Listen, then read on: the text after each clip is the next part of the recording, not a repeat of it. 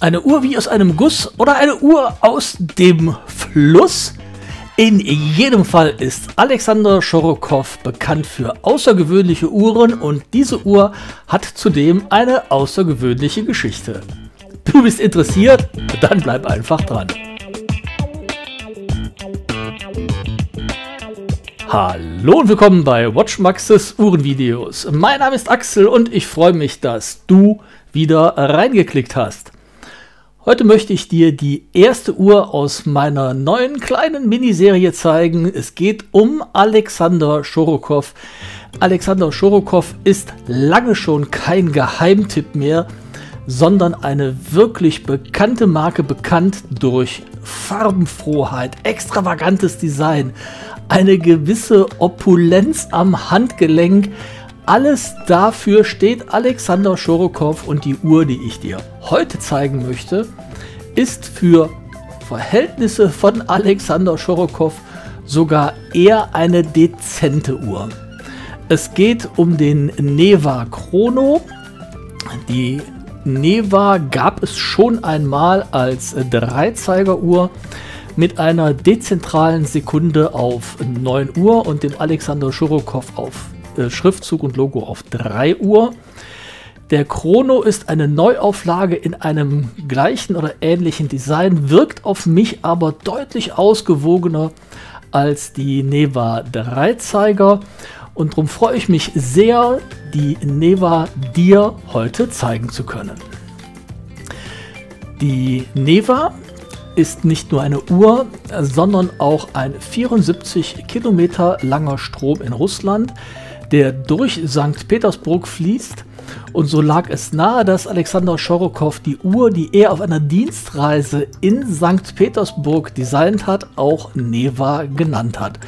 So kommt der Name zustande und ich finde, er passt gut zu der Uhr, soweit man überhaupt sagen kann, dass Namen gut zu Uhren passen. Oft ist es ja auch nur eine Gewöhnungsfrage, ob etwas gut, schlecht, passend oder nicht passend ist.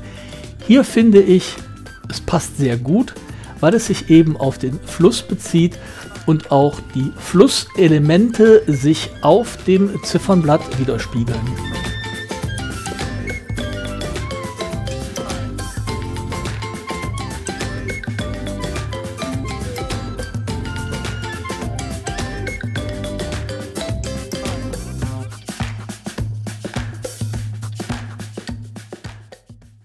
Die Neva Chrono oder der Chrono mit dem Namen Neva ist aktuell gelistet, also aktuell zum Zeitpunkt der Aufnahme dieses Videos mit 2795 Euro, ist 2021 herausgebracht worden und limitiert auf 100 Stück.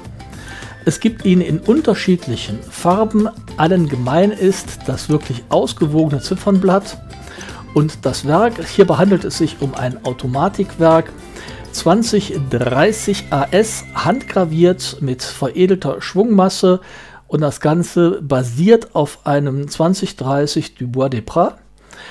Und Alexander Schorokow hat dieses Werk entsprechend aufgewertet.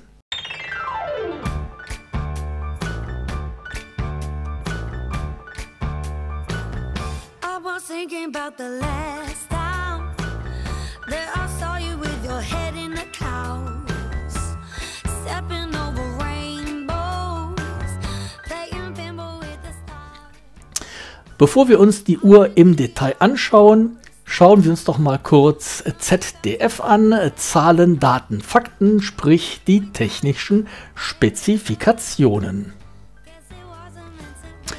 Die Uhr hat einen Durchmesser von 43,5 mm, eine Bauhöhe von 14,4 mm und der Bandanstoß misst 22 mm. Die Uhr ist bis 5 ATM wasserdicht, wie die meisten Alexander Schorokow Uhren hat auf der Vorder- sowie auf der Rückseite ein Saphirglas. Auf der Vorderseite ist dieses auch antireflexionsbeschichtet. Verbaut ist ein Wellenschliff-Ziffernblatt sowie am Band montiert ein Alligatorenband. Da kann man mit einiger Berechtigung geteilter Meinung darüber sein. Ich würde es aber an dieser Stelle gerne ausblenden. Die Uhr kommt nun einmal so. Wer es möchte, kann das ja gerne tauschen.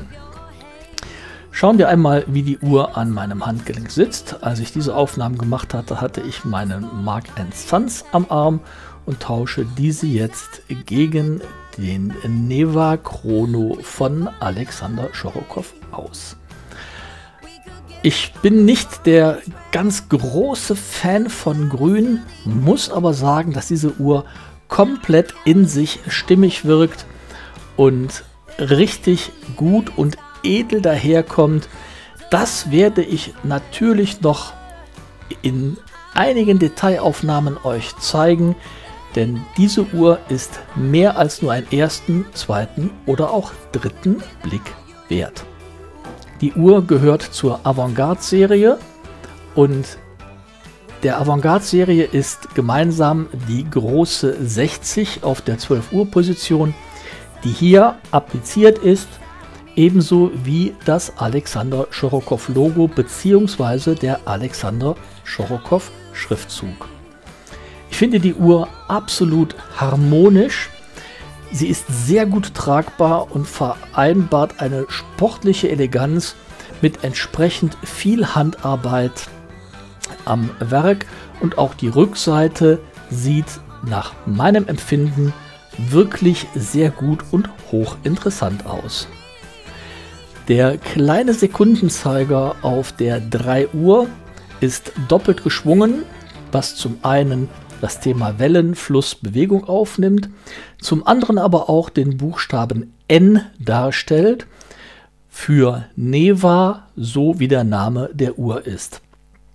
Insgesamt wirklich sehr schön gemacht und außergewöhnlich sowohl in der Formensprache als auch in der Farbgestaltung und wie ich schon einmal erwähnt habe, für Alexander Schorokow-Verhältnisse tatsächlich eher auf der dezenten Seite.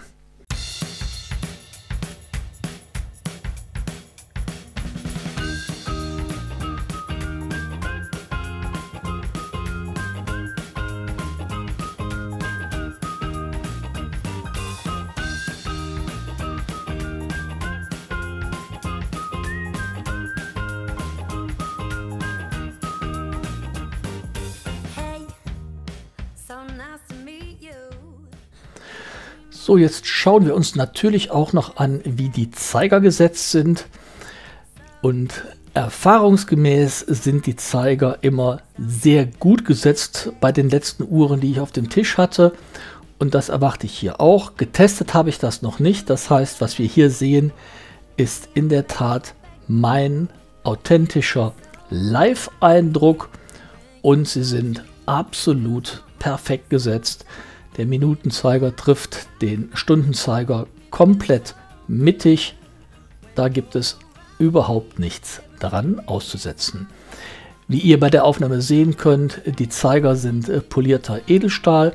Es gibt keine Leuchtmasse auf diesen Uhren, folglich gibt es in diesem Video auch keinen Nightshot.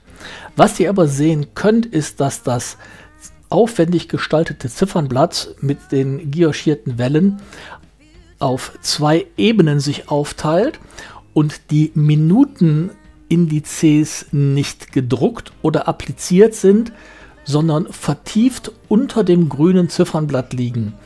Ein Detail, was man erst beim zweiten oder dritten Hinschauen sieht, was mir aber wirklich gut gefallen hat, weil es der Uhr nochmal eine gewisse Tiefe und einen gewissen zusätzlichen Charme gibt, den ich bei anderen Uhren so nicht feststellen konnte. Ebenfalls auffällig finde ich, dass der silberne Ring, auf dem die Minuterie angebracht ist, nicht nur einfach silbern oder weiß ist, sondern es auch hier radiale kleine Ringe und Gravuren gibt, sodass selbst dieser Ring mit der Minuterie nochmal in sich selber eine Struktur aufweist und nicht einfach nur plain vanilla glatt ist. Die Totalisatoren für die Minutenzählung der Stoppminute als auch die kleine Sekunde liegen vertieft. Die Hilfsziffernblätter sind also vertieft. Und auf der Krone ist nochmal das Alexander Schorokow Logo mit Schriftzug versehen. Ganz klein und fein. Ihr könnt hier im Bild sehen, um wie viel ich es vergrößert habe. Das gibt einen Eindruck davon, wie klein, filigran und fein das Ganze gestaltet ist. Die Rückseite ist ebenfalls ein Blick, den man nicht zu verstecken braucht. Ein schön gestalteter Rotor, eine aufwendig gemachte Bedruckung bzw. Gravierung der Rückseite. Viel fürs Auge. Wie gesagt, eine gewisse Opulenz, obwohl diese Uhr für Alexander Schorokow eher dezent wirkt und nicht ganz so laut und farbenfroh ist wie andere. Das hier ist, so würde ich es bezeichnen, die sportliche Eleganz aus dem Hause Alexander Schorokow. Wenn euch das Video gefallen hat, dann schaut euch sehr gerne noch meine anderen Videos zu Alexander Schorokow an. Ich habe ein Übersichtsvideo gemacht, was ich euch am Ende verlinke. Es kommen noch mehrere andere Videos zu Schorokow-Uhren, allesamt sehr sehenswert. Ich freue mich drauf, sie zu machen und ich würde mich noch mehr freuen, wenn ihr sie euch auch anschaut. Bis dahin, bleibt gesund, erfreut euch an euren Uhren und freut euch auf meine nächsten Videos. Tschüss, euer Axel.